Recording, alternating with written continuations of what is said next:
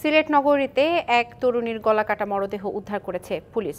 দুপুরে নগরীর খুলিয়াটুলির শুভেচ্ছা দুশো উনপঞ্চাশ নম্বর বাড়ির চতুর্থ তলা থেকে মরদেহটি উদ্ধার করা হয়।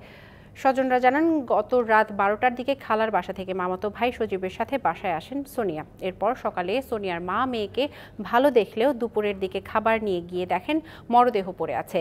ঘটনার পর থেকে সোনিয়ার মামাতো ভাই সজীব নিখোঁজ রয়েছে। খবর পেয়ে ঘটনাস্থল পরিদর্শন করেছেন সিলেট মহানগর পুলিশের উপ কমিশনার আজবাহার আলী শেখ। সজীবকে আটক ও ঘটনার রহস্য উদ্ঘাটনে পুলিশ কাজ করছে বলে জানান।